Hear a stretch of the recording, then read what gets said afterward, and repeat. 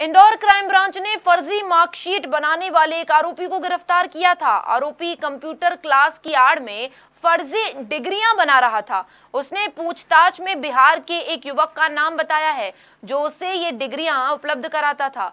Police अब आरोपी को रिमांड पर लेकर बिहार जाएगी। पकड़ा गया आरोपी मूल रूप से बिहार का रहने वाला है।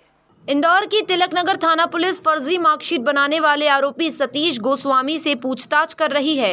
पूछताछ में आरोपी ने बताया कि वह तीन से चार साल से सहर्ष इंस्टीट्यूट ऑफ़ आईटी मैनेजमेंट के नाम से सुख शांति नगर में कोचिंग चला रहा था और इसकी आड़ में वह फर्जी वाड़े से जुड़ गया। सतीश ने बताया कि वह यहाँ खुद पढ़ाई के लिए आया था और फिर कोचिंग संस्थाओं में अच्छा रुपये दिखने के बाद यहीं रहने लगा। वह मूल रूप से बिहार का रहने वाला है। आ, ये है कि ये शहर institute of IT and management company है। इसमें ये जो कंप्यूटर का क्लासेस वगैरह चलाता था पिछले पाँच साल से इसका संचालन कर रहा है और हमारे यहाँ सुख शांति नगर में पिछले एक वर्ष से कर रहा है संचालन। इसमें एक फरियादी जो है उसने जो रिपोर्ट किया है वो इस तरीके की की है कि उसने उसको वो ट्वेल्थ में मार्क्स कम आए थे। तो ट्वेल्थ में जो मार्क्स कम आए तो उसको लगा कि मैं कहीं पर शासकीय जॉब में या कहीं ऐसी जगह अप्लाई नहीं कर सकता हूँ। तो उसके मित्र के माध्यम से इससे संपर्क हुआ था, जो आरोपी है सतीश गोस्वामी। संपर्क हुआ तो इसने कहा कि ठीक है, मैं आपकी मार्कशीट कंप्लीट कर दूँगा। तो बोले, कैसे करूँगा? तो बोले, मेरा काम है, वो मैं कर लूँगा।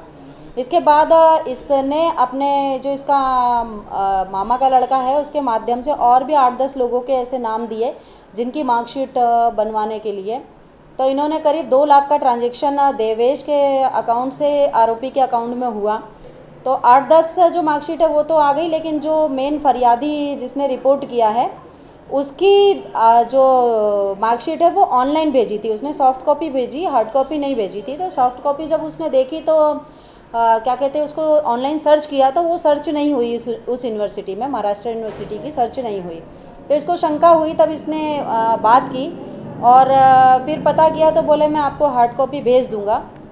क्योंकि लेटेस्ट ईयर की ही मार्कशीट सर्च हो जाती है, परंतु वो सर्च नहीं हुई। इसके बाद इसने आके थाने पर रिपोर्ट किया और या आरोपी को देखा गया तो इसमें कई, इसने आठ दस मार्कशीट और भी की है। अलग अलग यूनिवर्सिटीज़ की हैं, जैसे सीहोर की है, इसके बाद महाराष्ट्र की है, झारखंड की है और दिल्ली की है। इस तरीके से अलग अलग एरिए की अभी इसके वहाँ पर चेक करने पर मार्कशीट कुल मिली हुई हैं। तो उनको आगे सर्च किया जा रहा है। उनके बारे में और जानकारी निकाली जा रही है। इसका कहना है कि ये किसी और से कराता था और अलग अलग यूनिवर्सिटी में अलग अलग लोग इसके संपर्क में हैं जिनसे ये मार्कशीट बनवा।